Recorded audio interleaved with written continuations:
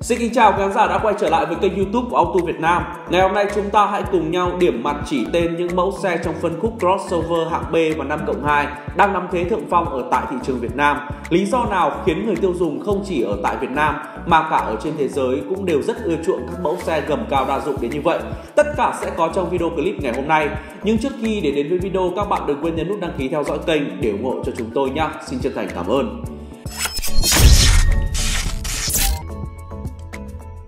Kể từ khi ra mắt phiên bản mới ở tại thị trường Việt Nam vào hồi tháng 5, Hyundai Santa Fe luôn luôn đứng đầu bảng xếp hạng các dòng xe bán chạy nhất trong phân khúc SUV 5 cộng 2 có mức giá trên 1 tỷ đồng. Thậm chí kể cả những cái tên 7 chỗ đã từng làm mưa làm gió như Ford Everest, Toyota Fortuner cũng dần biến mất, nhường chỗ cho mẫu xe đến từ thương hiệu Hàn Quốc. Sau khi giãn cách xã hội, Santa Fe đã có sự tăng trưởng doanh số trở lại khi có số lượng xe bán ra đạt 647 xe, tăng gần 66% so với tháng trước.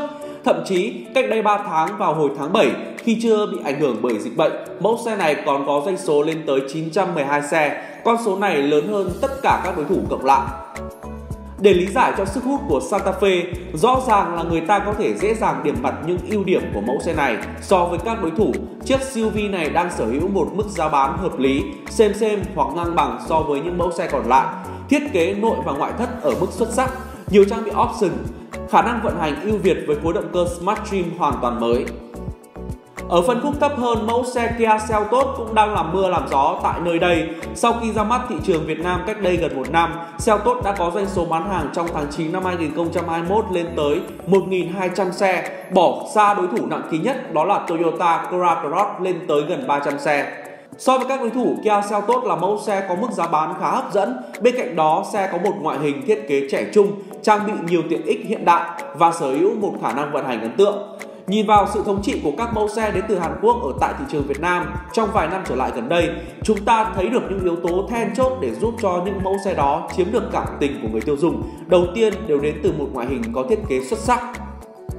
Bên cạnh đó, chính xe Hàn tạo ra một cuộc chơi rất sòng phẳng và đem tới cho người tiêu dùng những lợi ích thiết thực nhất vì liên tục thay đổi và nâng cấp trang bị nhiều tiện ích cho xe, cạnh tranh với các dòng xe đến từ thương hiệu Nhật Bản.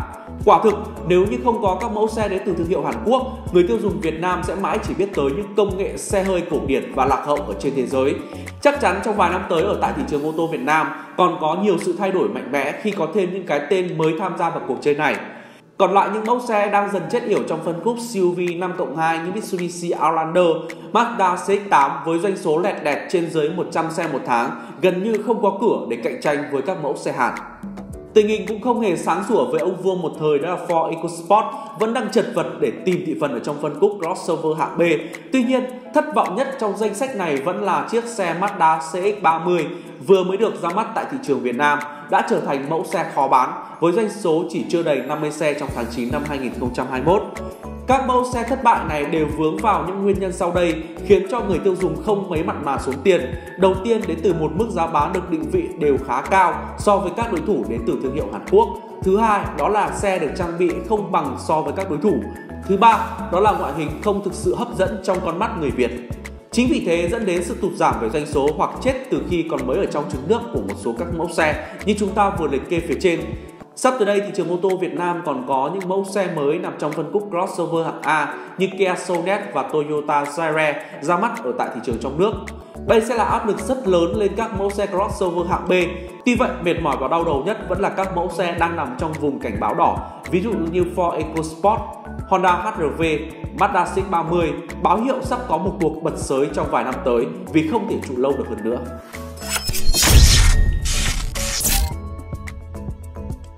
Vừa rồi là những nhận định và chia sẻ của chúng tôi về tình hình thị trường ô tô trong nước, cụ thể là phân khúc crossover 5 cộng 2 và crossover hạng B. Cảm ơn quý vị các bạn đã tham gia theo dõi. Xin kính chào và hẹn gặp lại.